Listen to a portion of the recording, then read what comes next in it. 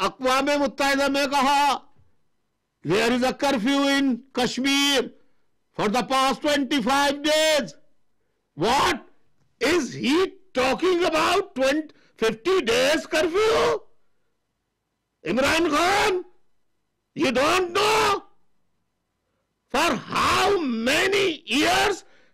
unannounced curfew has been imposed in different areas of Baluchistan, NWFP,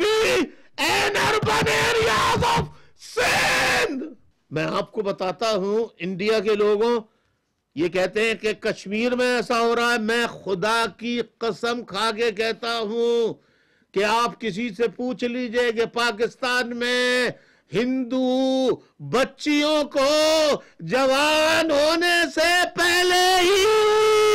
अगवा करके उन्हें ज़बरदस्ती मुसलमान बना के उनसे शादियाँ की जा रही हैं।